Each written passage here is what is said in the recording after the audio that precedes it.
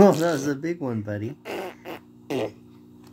Well, you are going to be a push-upper. Uh-oh. Getting frustrated.